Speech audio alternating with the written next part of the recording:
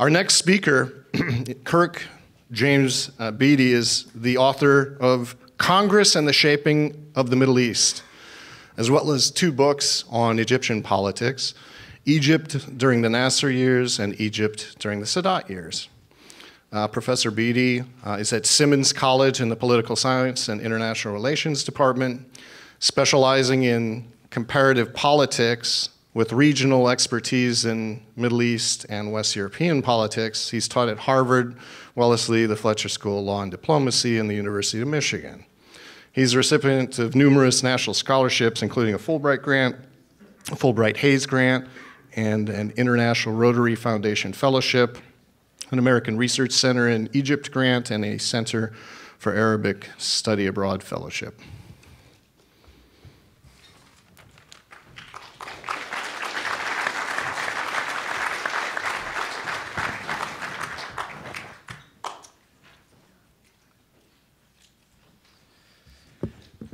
Thank you very much. I'd like to thank the people at uh, IRMEP and the Washington Report for uh, inviting me here. I've uh, uh benefited uh, tremendously from uh, their work over the years and from the ability to interview some of them uh, for actually the book that I uh, completed not long ago.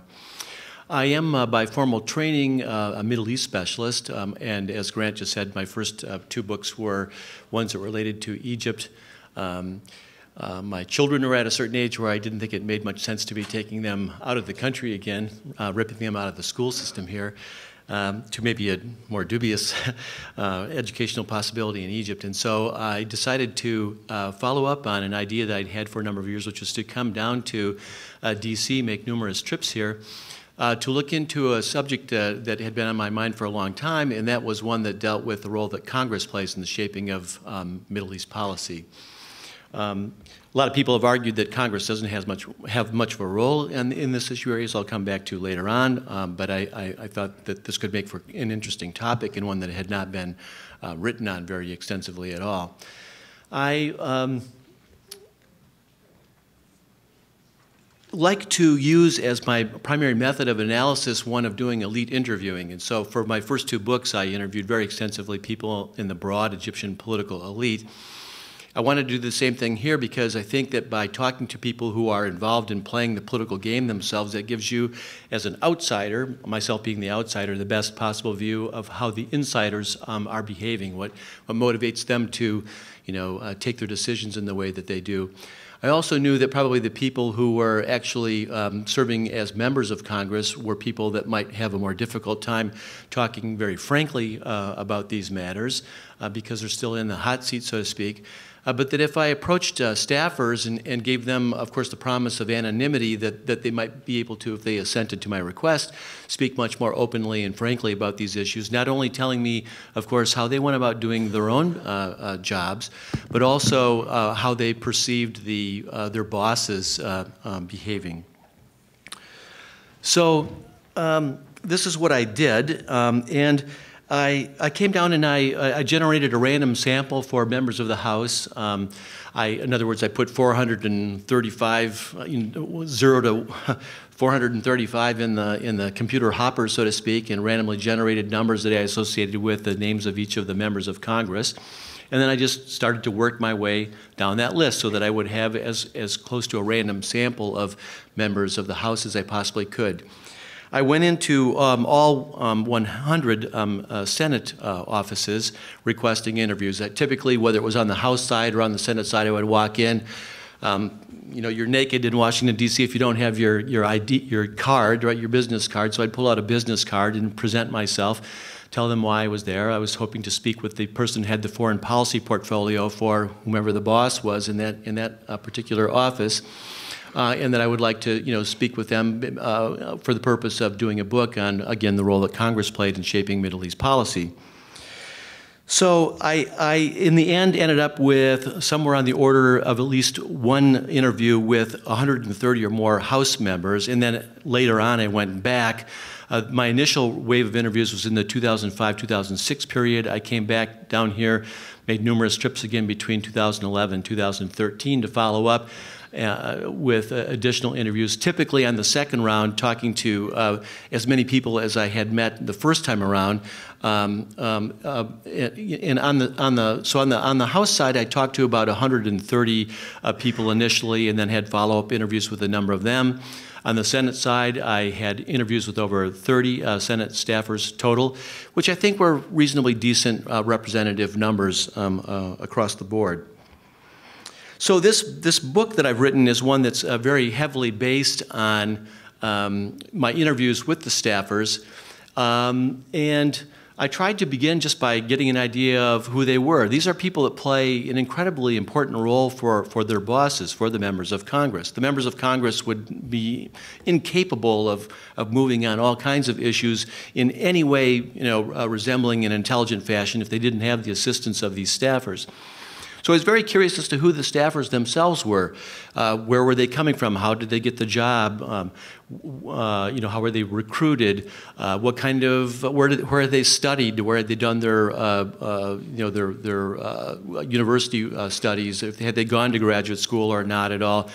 Were they political scientists? Were they people that had uh, studied you know, in other disciplines? Were they people that had ever taken a course on Middle East politics and so forth? So I spent quite a bit of time trying to get to know the staffers reasonably well at the beginning of my uh, interview, asking them how old they were, how long they'd been up on the Hill, um, uh, and so on and so forth. And so I think I came up with a reasonably uh, good sense of, of, of, who the people were. And then, of course, the, the bigger issue was to try to figure out how they went about doing their work and uh, how they went about advising their, their bosses and what kind of communications they had then with their bosses, and, and ultimately how their bosses thought about issues in, in this issue area and arrived at their own decisions. Now, I, I have not worked on the Hill. I had not worked on the Hill um, ever. I still have not ever worked on the Hill in, in terms of being uh, in some sort of a staffing capacity at all. So I, this was new to me. I'm not an Americanist by my formal training. I'm a person that studied uh, Middle East politics and so forth. And so I walked into these offices, and when I started sitting down with the first people uh, with whom I was conducting these um, interviews, I would say, okay, well, you're the person who has the foreign policy uh, portfolio for uh, Representative X. Is this all that you do? Now, so I know that there must be some people in this room that know the answer to this question and maybe know this a lot better than I do. But I was, I was stunned because they would say, well, yes, I do foreign policy. Um, I also do defense. I do intelligence. I do Homeland Security. Um, I do Veterans Affairs. I do taxation. I do the environment. Um, I do immigration issues. Now, I think I may be up to about eight or nine enormous portfolios at this point, but usually they went up to about 12 to 14 different portfolios. This is on the House side. How can any human being possibly be knowledgeable and have expertise in this many different issue areas. It's just it's just humanly impossible. And these are the these are the individuals that are providing the information to their bosses across this range of uh, issues, and upon whom the bosses are depending to it to a considerable extent. The the modal age for my house um, um, uh, interviewees was 23.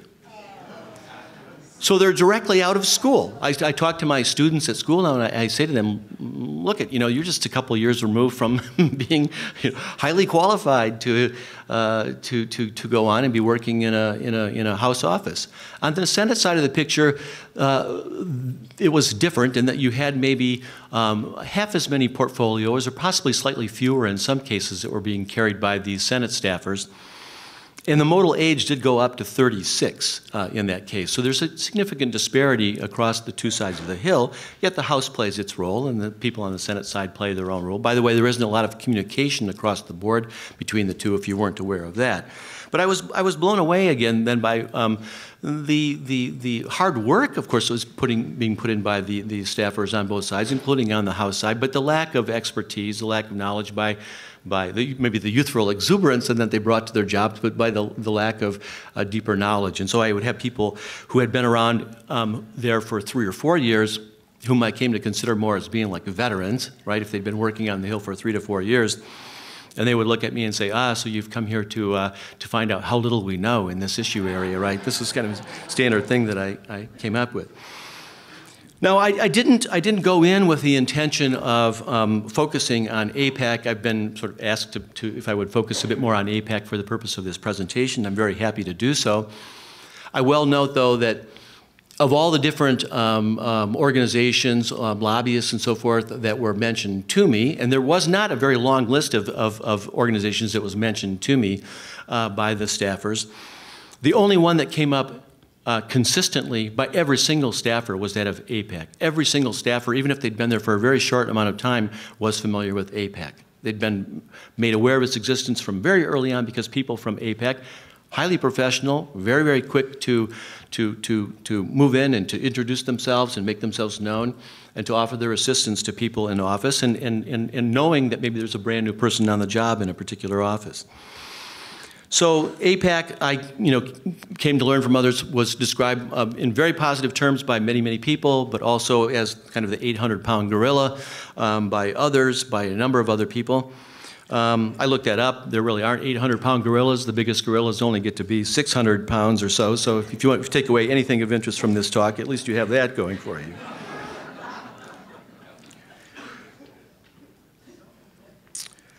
Now, what um, how does AIPAC go about then currying its uh, influence? I'm, I'm, narrowing the focus a bit now. It begins with elections, and it begins very, very early. In fact, it begins before people are even running for Congress per se. AIPAC invests a lot of efforts, perhaps with the, the, the, the, the assistance. I, I, need to talk to Grant Sullivan, had an opportunity with the JCRC groups that he was talking about earlier on at the community level in, um, in scouting uh, individuals, looking for rising stars um, on either side of the political aisle to try to see whether somebody who's running for a municipal council in a major city or for some lower level job looks like he or she has the potential to rise up to be quite a bright, promising uh, or, or, is showing themselves as a bright, promising uh, uh, political candidate who might, over the longer run, then be somebody who is interested in running for a congressional office. And so from very early on, the vetting process uh, begins. Um, even before people are running for Congress. And also opportunities are extended, and this I think is going to be spoken about later on by um, Gideon Levy, if I'm not mistaken, in his keynote speech. So I'm not going to go into this in any greater detail now, but opportunities are provided such as trips to, to Israel. So the, the, the attempt to socialize people who are perceived even as potential candidates for running for Congress begins at a very early age from the perspective of some of these groups, including that of AIPAC. In addition, of course, um, money plays an exceptionally important role. I had one young um, Jewish American staffer who said to me uh, in a very friendly way, he's trying to forewarn me, now don't, whatever you do, don't talk about the money. I, I, know that he was afraid that if I started talking about the money at any point or mentioned this in the book, that that would open me up all the more to accusations of anti-Semitism and so forth because it's a standard trope, right?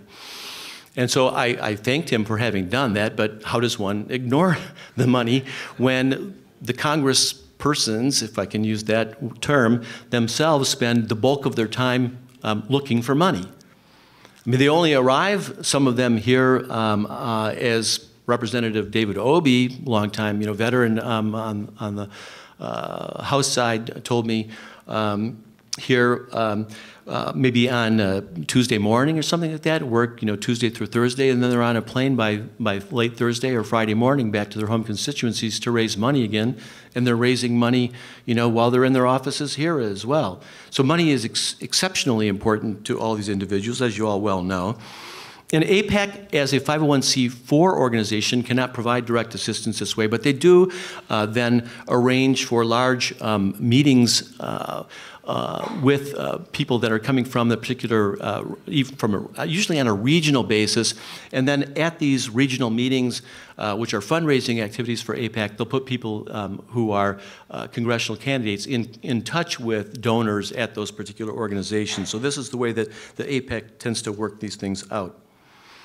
Um, the um, relative absence of significant countervailing influences here is important because you know the first thing that people over the years have thought about in terms of a countervailing influence to to pro I like to say more pro right wing Israeli government um, um, uh, uh, actors is the oil lobby. So I would listen to my again interviewees talk about uh, individuals um, that they were being contacted by and who had influence in whatever shape and manner and so forth. And, um, and they would actually, again, to a person, not talk at all about the oil lobby.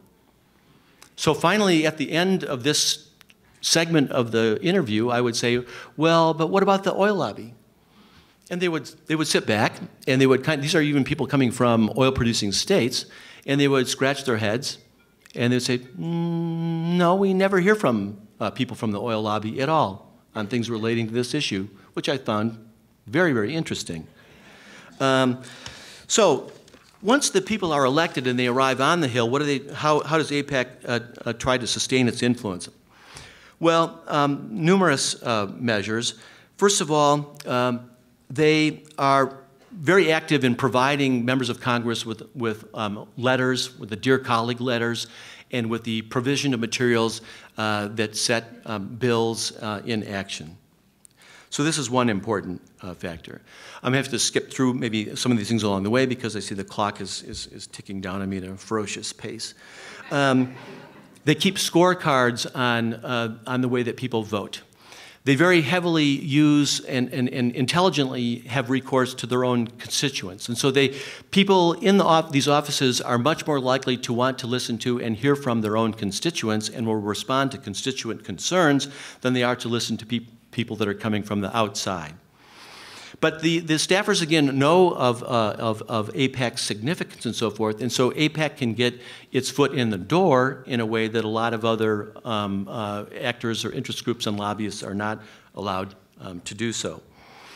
Um, they go to um, great length then to keep score of how people are voting. They communicate that information back to their to their um, constituents. Constituents call on a regular basis uh, so that they become uh, people that have first name uh, basis contact with the person that holds the foreign policy portfolio, like Kevin's on the line from Cincinnati or whatever, you, would you take it? And they'll take the call and they'll talk to people that way. Again, this is not a game that is being played with anywhere near the same um, success by any of, of the other uh, lobbyists compared to AIPAC. Another thing, again, and this is what's structural in nature about the way that AIPAC succeeds, is that they know exactly how strapped these staffers are in terms of um, the time that they have allotted to deal with any particular issues. And so for AIPAC to come along and basically deliver talking points and information to them on a silver platter makes life so much uh, easier for them that they're very happy to be on the receiving end of that information. Yet another point um, that's somewhere up there, I'm probably wandering at this point in terms of I can't really kind of read these things very well without putting my glasses on. So anyway, well, the, is that many of the many of the staffers, uh, of course, only last on these jobs for a, a very short number of years. They're only there for one or two or three years, right? They're not being very well paid, and so they know that if they can get a job with with lobbyists for any lobbying firm, then after they've been on the job for, again, a short number of uh, years and have acquired that experience, they can leave the Hill, go to work for a lobbyist, and they can start making three times as much money as they were, at least three times as much money as they were being paid um, as, as a staffer. Now, I want you to think about that a little bit longer because if if your longer run objective then is one of being hired by a lobbyist, I'm now broadening the focus to think about you know, the implications for the, the influence of other special, special interest groups, then how likely are you to be biting the hand of people that are trying to provide you information for free if you might want to go be employed by, by those people over the longer run? So all these kinds of factors you know, come into consideration. Um, another thing that's going on then is the one of the foxes being placed in, in, in charge of the chicken uh, coop, so to speak. And so if you have the time, look very carefully to see which individuals um, have served over time as the um, you know, the, the, the chairs or the ranking members and so forth of the uh, committee and subcommittee in foreign policy and appropriations. And what you'll tend to find in this issue area that we're dis discussing here um, are people who are coming from what one more conservative or right-wing staffer described to me as dark blue uh, as opposed to light blue, meaning in terms of their commitment to Israel kind of backgrounds. And you'll tend to see people who are coming from, you know, very um, hardcore, dark blue um, um, Jewish American uh, uh, districts in the country, or people that are coming from evangelical backgrounds, or people that are security hawks. And so they tend to be clustered in these committees and subcommittees of foreign policy and appropriations in a way that's, that's very important. Now, let me just try to, to, to wrap things up here. Is Congress's role important? You've had a lot of people along the way who have argued that this that this is eh, not the case. Um, Aaron David Miller has written about this fairly extensively. I, I imagine a lot of people in the room have heard of him. People on the left, like Noam Chomsky, have written about this, that the lobby doesn't play a very important role. Um, I beg to disagree. The president has tremendous um, power, of course, but it's the Congress, again, over time, that does things like um, sign the bills that provide the $3.2 billion annually, and now maybe going up to $5 billion annually in, annually in terms of assistance to, to Israel. And so I like you know, to, to, to think of this in terms of maybe a, a horse trainer who can butte up, you know, sort of drug uh, a horse so that it performs more marvelously in a, in a, in a, in a race. Uh, but that this potentially, you know, injurious over the longer run to the, to, the, to the health of the horse, so to speak. And let me just finish then by saying that um, I, I, think, you know, the question is posed, is AIPAC's influence then bad for um, America? Um, and what I learned along the way from the staffers, and really so much of the book is based, again, on these hundreds of interviews that I did with the staffers, um, is that um, you have people who are even Jewish American staffers who are embarrassed by the power of AIPAC. You have many, many other staffers, including Jewish American staffers, who are disgusted by the power of AIPAC. In over 30 years of teaching on this subject, not once ever have I in the classroom ever accused any of the members of Congress or any of the uh, actors in the executive branch of, of, of, of having dual loyalties or of being treasonous. And yet, I can tell you that I had interviews with people who are coming from both Republican and Democrat backgrounds who, who told me, again, anonymously, and deferred when I asked them to give me specific names, um, things like insert the name of any other country into the formula, and any member of Congress for their behavior would be accused of treason. So I'll conclude on that note. Thank you.